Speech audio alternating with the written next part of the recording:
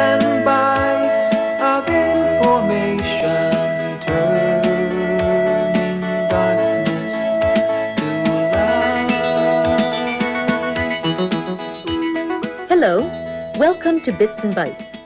In this episode, we're going to see how the computer not only lets you play music, but play with music in all sorts of new ways. And you don't need to be musical to do this. If you have a bad ear for music, the computer can help train your ear. If you can't read music, the computer can help you to learn. Or if you like, it can create a new way of representing musical notes. Surely I'd need to plug in a whole lot of extra equipment if I want to make music on my computer. Not necessarily. It's true that as you progress, you can invest in extra equipment, but you can have a lot of fun with music just with your basic microcomputer. Because when you buy a computer, you're also buying a musical instrument. There's already a program loaded into the Atari that does just that. Player piano. Hmm. Well.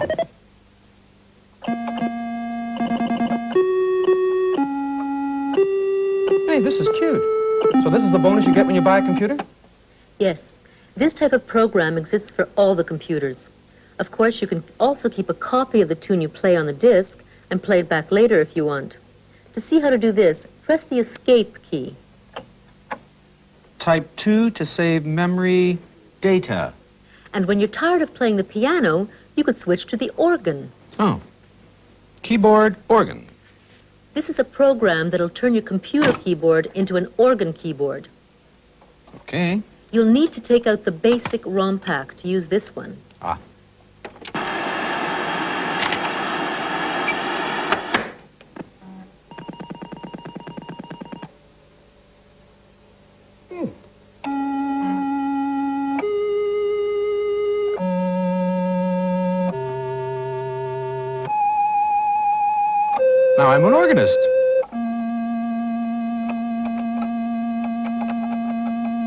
But I can only play one note at a time. Is there any way I could play several notes simultaneously for harmony and chords and so on? Yes, there is. Some of these popular micros have a special music chip built in that gives you what are called different voices. Voices? You mean that'll talk to me? No, voices in this case just means the number of notes that the computer can play at the same time. The Atari actually has four musical voices, and the Texas Instruments has three. So does the Commodore VIC-20 and the Commodore 64. And the other computers? With the others, you have to buy a certain amount of extra hardware if you want more than one voice. But let's look at the Texas Instruments now, because it allows you to program its three different voices quite simply. Type 1 for basic, Okay. type a line number, and call sound. Call sound. Okay, let's see. Uh, 10.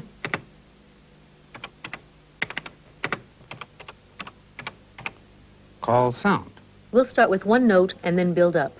So put in brackets the length of the sound you want, which note you want, high or low, the pitch, and the loudness, the volume. All right, length, pitch, and volume. What, what would I type? Well, let's say that you want the sound to last two seconds. The Texas Instruments computer likes to deal with musical time in milliseconds, thousandths of a second. So if you want two seconds, type 2000 for 2000 milliseconds. Okay. Bracket. 2000. comma, and now the note you want. Uh, how about A? Type 440. That represents the A above middle C, Okay, okay.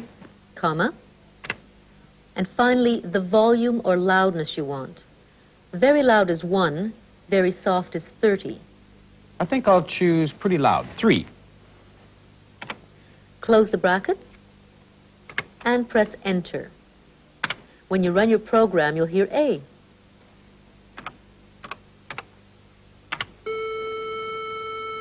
Hey. But how am I supposed to know that A is 440? Well, there's always a manual that comes with these computers. In the Texas Instruments manual called Beginner's Basic, you'll find a list of what are called musical tone frequencies on page 124. Ah, here we are. 440. A above middle C. See if you can program a chord. The chord of C, for instance, which consists of C, E, and G. Okay, don't tell me. Let me try this myself. All right, uh, 10. Call, sound. Bracket, 2,000, comma. Okay, now let's see. 262, middle C. 262, comma, and loudness would be 3. And now we want E, which is 330, comma, at 3. And G, 392. 2, comma, 3, run. It worked. A three-note chord, music by numbers. But I don't understand why I need these particular numbers to stand for the notes that I want. Well, I see they're, they're called frequencies. What exactly is a frequency? In order to explain that, we need to explain what goes on inside the computer that enables it to make a sound in the first place. When you take a tuning fork and do this, the prong of the fork vibrates and sets up a sound wave. And when this sound wave hits your eardrum, you can hear the note that is being played by the tuning fork. Now, it's easy enough to understand how tuning forks make sounds because you can see the vibrations. But how do computers make sounds? They don't vibrate, do they? No, but they can make other things vibrate. Every time a computer circuit switches on or off, there is a tiny increase or decrease in electric current. It's like a miniature heartbeat that sends out a miniature electrical pulse. This pulse is much too weak to generate any sound on its own, but it can be fed into a tiny device called a transducer to produce a tiny sound. But if we want a louder sound, we must first make the pulse larger. We must amplify it. And this is simple to do because our computer monitor or TV set comes already equipped with an amplifier. If we feed the computer's pulse into this amplifier, it will then be made large enough to cause a loudspeaker to vibrate and therefore create a sound wave that we can hear. So, provided that your computer is hooked into an amplifier and a loudspeaker, simply by turning a circuit on or off, you will be able to make a blip sound. Of course, this blip can hardly be called music, but if you tell the computer to switch a circuit on and off more and more rapidly, it will produce a faster and faster string of blips, and eventually you will hear a musical note. The more frequent the blips, the higher the note, and the less frequent the blips, the lower the note, which is why the highness or lowness of a note is called its frequency. For example, if we get the computer to turn a circuit on and off precisely 440 times a second, we will hear 440 blips per second, which happens to be the frequency of the musical note A. And this is exactly how a tuning fork, or a piano, or a guitar, or a trumpet also produces the musical note A, or any other note for that matter. It's all based on vibrations. So your computer can not only give you good words and good numbers and good pictures, it can also give you good vibrations. Good vibes. I like that. So a frequency of 440 means that there are 440 vibrations per second? That's right. And if all the computers can make electronic vibrations, does that mean that all computers can produce sounds? Yes, provided that they are connected to some sound-making device, such as a transducer for tiny sounds, or to an amplifier and a loudspeaker for louder sounds. But as I mentioned, only certain of the popular micros come with a built-in music chip that make it possible to synthesize three or four different musical voices. So these music chips are actually music synthesizers, are they? That's right. They are miniature music synthesizers. Of course, if you get more ambitious, you can add much more elaborate synthesizers to your computer. You can buy extra hardware. For example, there's a music synthesizer for the Apple called ALF, which consists of a synthesizer board that we've already plugged into the Apple. Do you see it? It's in slot number four. Oh, I see. So this contains extra music chips. That's right. Alf uses the paddles again, and you also get some software from Alf. Yeah, and I see we have a some special amplifier and speaker. Well, why can't we use the amplifier and speaker from the monitor? Well, you could, but the sound wouldn't be as good. Ah, I see. Ah, what have we got here? Well, on this version of Alf, there are three voices, but you can get nine voices in some versions. There are a lot of musical things you can do with ALF, but one of the most interesting is to use it to help you compose music. Compose music? I can't even read music, let alone write it. Well, that's where a system like this can be of help. Why don't you give it a try? The right-hand paddle will move the cursor up and down those lines at the top of the screen. Do you see? Oh, yes. Uh-huh. Now, if you were to begin with a high note, position the cursor quite near the top of the lines Okay. And press the button on the paddle. Hey, I've just written my first note. But it sounds a little high to me, I think. Well, never mind, it's easy to correct. Use the left-hand paddle to move the little arrow along the bottom of the screen. Oh, yes. Position that arrow under the arrow that's pointing to the left Okay. and press the button. There. This will move the cursor back over the note that you've just written so that you can change it. Oh, I see. Ah, that's much better. I like that. Now move the little arrow under the right-facing arrow so that you can proceed with your tune.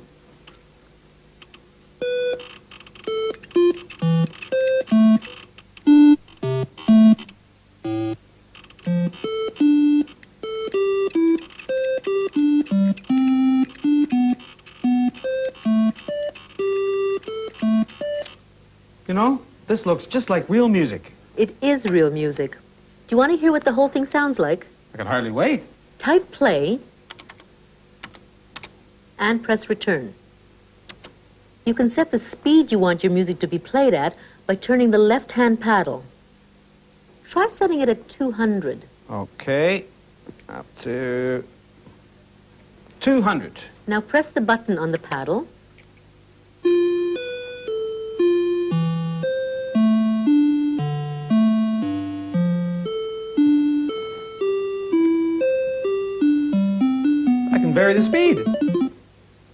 Oh, that's terrific. Now I can hear my tune and see it. But you know, it might be premature for me to quit my daytime job. Although it was fun.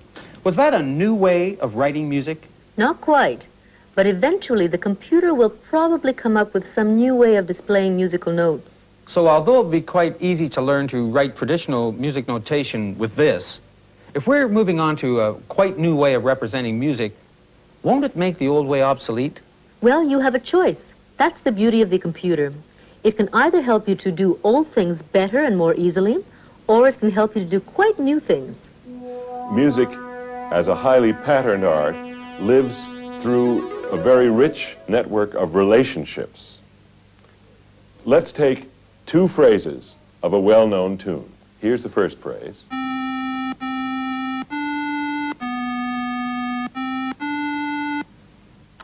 Here's the second phrase.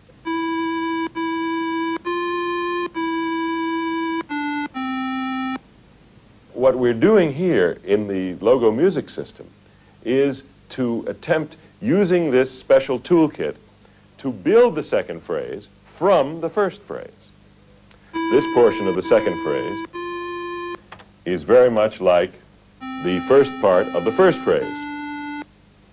Let's take this block and try to make it higher.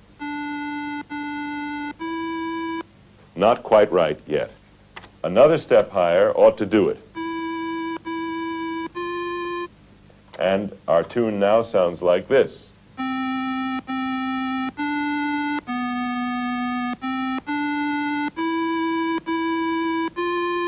Again, the next continuation should go something like da da da. We have no existing block with that shape and direction. It does seem as if the second block could conceivably be changed into the missing block if we could somehow turn it upside down. Looking down at the list of operations, we find that indeed There is an operation called invert. Let's try it and see whether that might possibly do the job. Now we have the block going in the proper direction. Ya-ta-dum. Indeed, it now goes downward, and it has the right rhythm, but it's a bit too low. Let's add that onto the tune. We now have four blocks in the tune, the initial two and the second two that we have manufactured out of the first two. We have tried to build this kind of a musical universe to explore relationships by actually creating them. Musicland is a group of educational games intended to teach you about music in ways that differ drastically from the conventional. Inside each of these little boxes is a very simplified form of musical notation which represents the music that the box contains. We just move across the word play at the side of the screen and the picture of the Buddha between two loudspeakers warns us that we should be patient, that we're going to hear something. If we don't like a particular fragment of music, we can throw it away simply by shaking the cursor puck and it disappears. Now we can see that we're inside the piece of music and notice that the notes that I've just circled float around on the screen following the movement of my hand. These gadgets here are called sliders and when I stroke this right slider, you watch what happens to the music. It slowly shrinks to nothing and then emerges out the other side of nothing back to front. If I now stroke the other one, watch carefully, you'll see that this shrinks in the vertical dimension. In other words, the pitches are collapsing. Now let's plonk that on the music too. All we've done is to take Twinkle Twinkle Little Star and sprinkle it around the music in slightly transformed ways.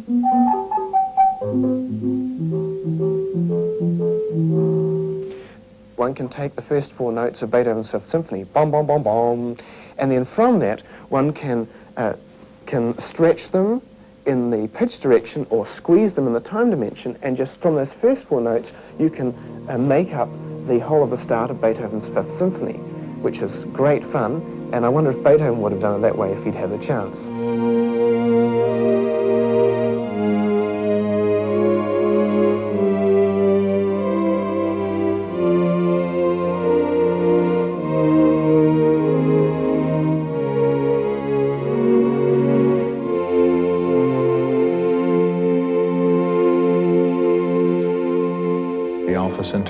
Sound generators open up a whole new realm of compositional possibilities. The student is no longer tied to pencil and paper. He's no longer tied to conventional instruments.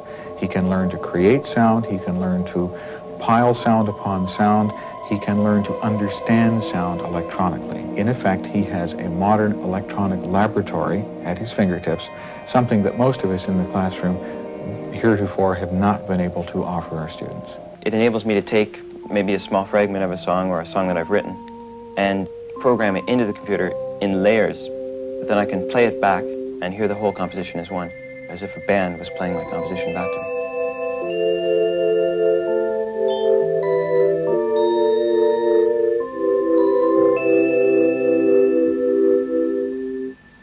Frances is working with a computer-assisted instruction package called the Apple Music Theory.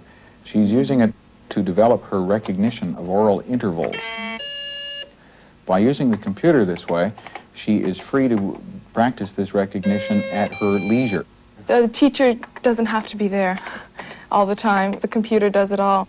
It corrects you when you're wrong, and it tells you you're right when you're right. And it keeps records of your progress so you can see what you've done and how you've improved.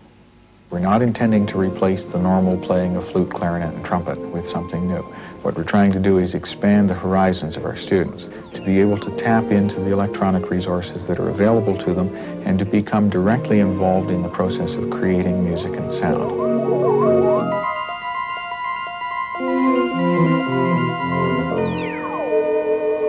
This is all very impressive, but I notice that it all involves a certain amount of extra hardware and software, the alphaSyntauri, or the ALF, and so on.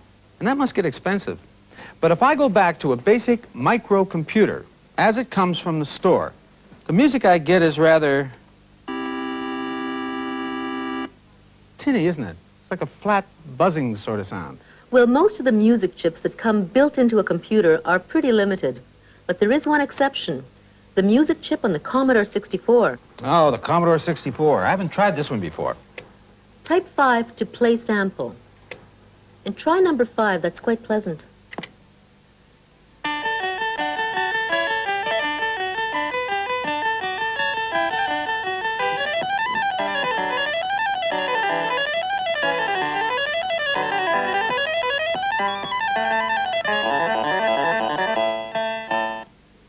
That's pretty good.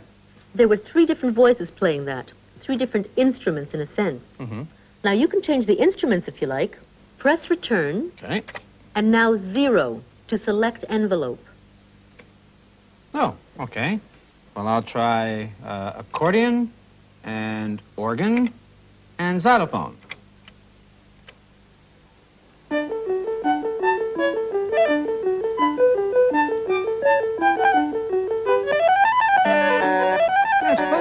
It's different.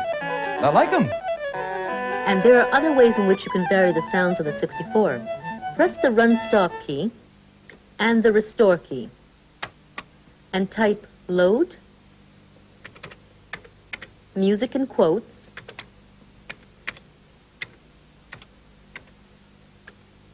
comma 8, and return.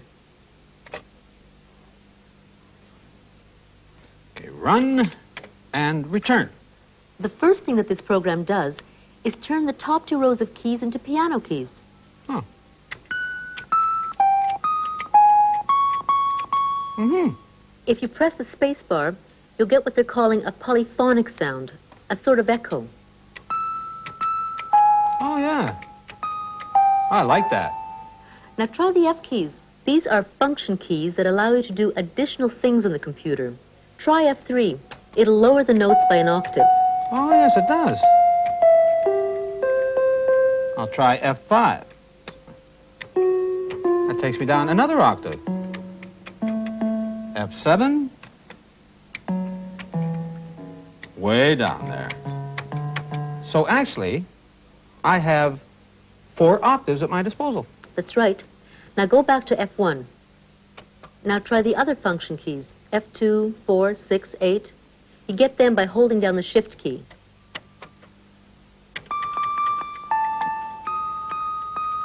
Like a bell. Yeah. It's kind of twangy.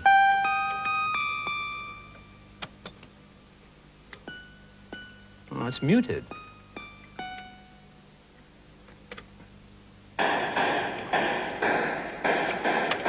And that's very harsh. It's like gunfight at the OK Corral. Yes.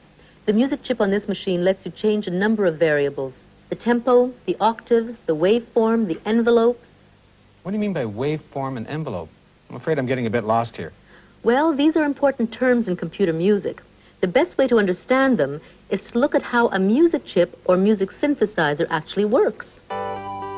Someone once said that architecture is frozen music. And this is more than just a pretty phrase.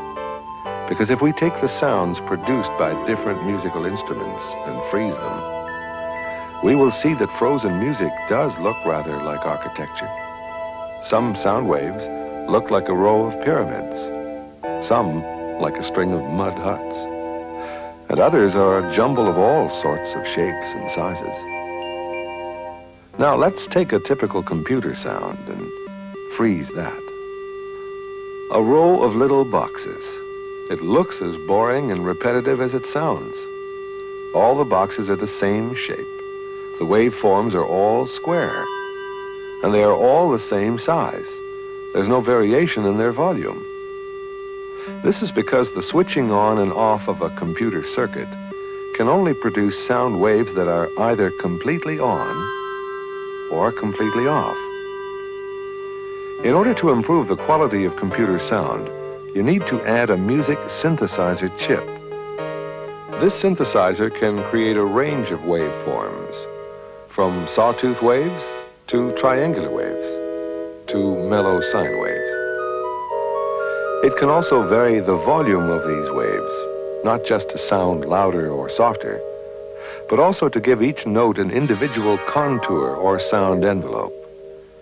This enables you to imitate a guitar, for example, whose notes have a waveform like this and an envelope like this, which starts quickly and fades quickly. Or a trumpet, which produces a waveform like this and an envelope like this, which starts slowly but can be sustained for a long time.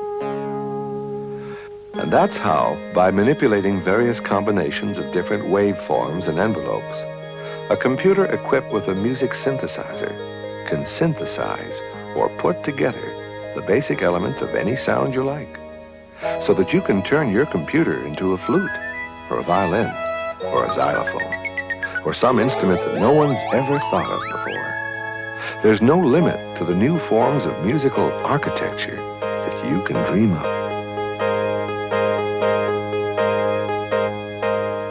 All right, so computer music is entertaining, it's educational, and it can put a whole orchestra at your fingertips in a way.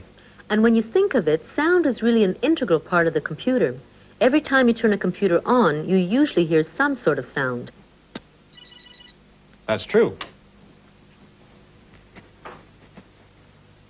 And when I press return, it speaks to me. But can any of these computers actually talk? I mean, can they imitate the sound of human speech? Oh, yes. Most microcomputers can be equipped with voice synthesizers just as they can with music synthesizers. There's an example on the Texas Instruments computer. Hello, Billy. Wow!